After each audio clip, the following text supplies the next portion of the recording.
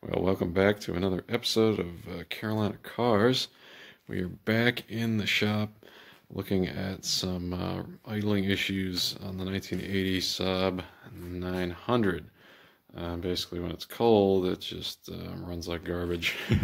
and as it warms up, gets um, to be running a little bit better, but there still is a little bit of hesitation I'd already changed the spark plugs and checked the gap, uh, and also did the distributor cap. It didn't really seem to change too much.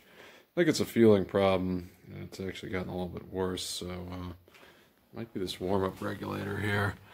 Um, we're to have to do some tests um, with the uh, actual fuel injection systems. This is the uh, CIS or K-Jetronic, uh, that's the later name for it would be in these cars. Um, and these are uh, lines that go off to the um, injectors here on the cylinder head or intake manifold. And then uh, there's an input line and an output line from the uh, fuel tank, and then some other lines that goes to like a cold start injector is this one. And these two lines go to the warm-up regulator, which uh, controls the pressure.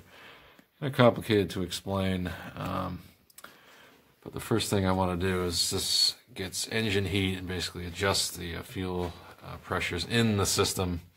Uh, so I wanted to check to make sure it was getting power, which you do have to start the car before it will give you power. Um, but it is getting power. And also there's a little jack down here where there's an internal resistor which um, controls like a bimetallic strip um, that helps regulate the uh, warm-up cycle. I wanted to see if that resistor was blown out. It's reading 49 ohms, so I don't think so. Not quite sure what the ohm spec on this is. There may not have been one, so um, do a little bit more digging on that. I saw somewhere 18 to 22, but as long as it's um, got some resistance, it's probably fine. You really need to open it up, I think and then the resistance value should be stamped inside of it so we'd have to try to take it apart. Not ready to do that yet. I got to do some other checks before that. It seems like the resistor is working. It's getting power so there may be some other issues with the system. Next thing I'd like to do is I'm probably going to pull this uh, output line off the fuel filter out of that which goes to the uh, fuel distributor here. And then I'm going to see if I'm getting enough flow um, out of the fuel pump and uh, do that test and then go from there. Alright, so we did a flow test. Um, I was going to try to bridge these fuses, but that didn't really work so well. I just ended up starting the engine with a return line. Um, disconnected in this little adapter that I got from my fuel pressure kit and then ran that into a oil bottle and it's over 900 cc's, which was the output um, for, in 30 seconds for what the manual uh, stated. So it looks like we don't have a fuel flow problem. I'm gonna have to go ahead and do some more tests now on the warm-up regulator uh, to see if that is the issue. Okay, so we have the gauges running or connected. Um, the output is going out of the top of the fuel pressure regulator, which I thought was somewhere else, but I was actually wrong. We just a little bit of fuel, but not enough to really worry about. Um, then it goes up out of that into the T, pressure off to the fuel pressure gauge there, and then it goes into the input side of the uh, warm-up regulator, which is over here. Currently looks like we are within spec um, on a relatively warm engine. We're at about 50 psi. Um, that being said, uh, when we do flip the uh, valve to the control pressure, rather the line pressure, the system pressure, that's running a bit low. Don't quite know what that means. Could be another issue within the system continue to warm this up uh, completely, and we'll take a look at the pressures once we get totally warmed up. Okay, so um, back and I'm going to see if we can uh, fire this up again and just do a uh, pressure test from cold. Um, right now we're at about 45 degrees in the garage. Up regulator sitting at about 47. Change the adapters around a little bit, so hopefully no leaks. Uh, we'll see. So I'm going to start it up and uh, it's going to go with a pressure uh, right from the, uh, the get-go here and then take the temperatures uh, at the warm-up regulator as we're warming up.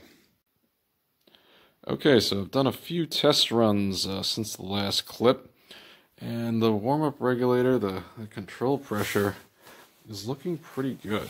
Um, the last one I did, it was about 35 degrees on the warm-up regulator um, from that uh, infrared temp uh, gun that I was using.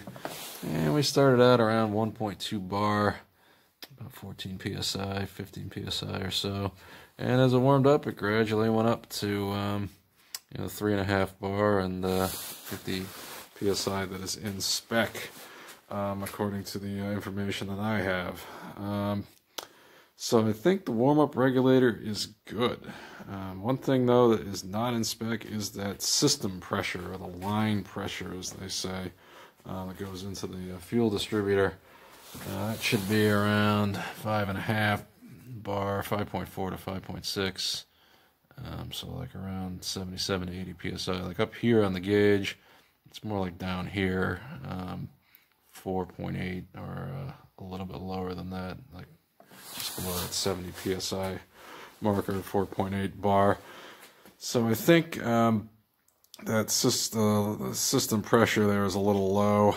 Um, so what I'm gonna have to do is I actually uh, took the uh, regulator out that regulates that system pressure, which goes right where I, I plugged it with some paper towels, and uh, I'm gonna have to shim that. So uh, I'm gonna do another update, um, and then I'll show you the process to doing that um, as well.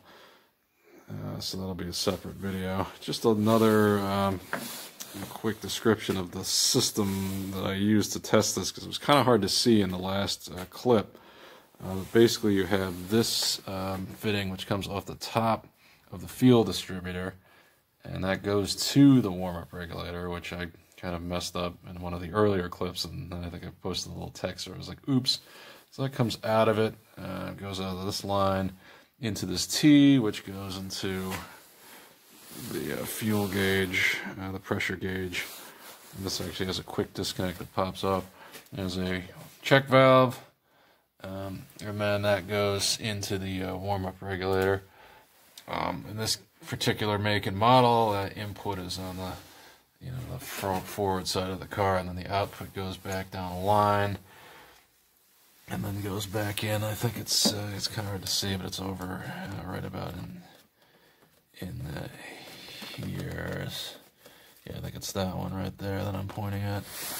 So um, those two are where it goes, but basically you want to you know connect your gauge um, to the line that comes off of this. You can either connect it you know to the line that comes off of there, and then you know, connect the other end um, to this point, or you can just connect it directly to the warm-up regulator input side.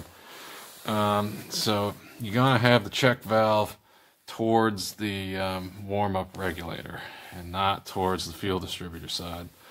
So then when you flip it, you get the system pressure, and when you release it, you get the um, control pressure, which is actually what that warm-up regulator is uh, you know, doing to control the piston uh, the system inside of the uh, piston and diaphragm, or piston and diaphragm, I should say, inside of the uh, the fuel distributor. So that's just a quick overview of what I did on this particular car. Every car is a little bit different, but it has kind of the same uh, idea behind how to uh, wire or to uh, hook up the fuel gauge, um, the fuel pressure gauge. So a few of the things I should be testing or might test if um, the uh, fuel pressure fix doesn't work, which I'm thinking it might not. Um, this is an auxiliary air valve here, which controls air that goes into the engine when it's idling, um, and that, that warms up as it goes. Uh, there's something down here, I think, which is something to do with the oxygen sensor. I think they call it a frequency valve. I'll have to look more into that, but that uh, connects to the fuel distributor as well. So I'm gonna have to do some checks on that, and then maybe more checks on the ignition system uh, as well. Uh, so we'll see. Um, so just uh, some further updates coming. So stay tuned as we continue to go a little bit deeper into um, the uh, systems here on the 1980 Saab 900. Thanks for watching, and we'll see you soon in the next one.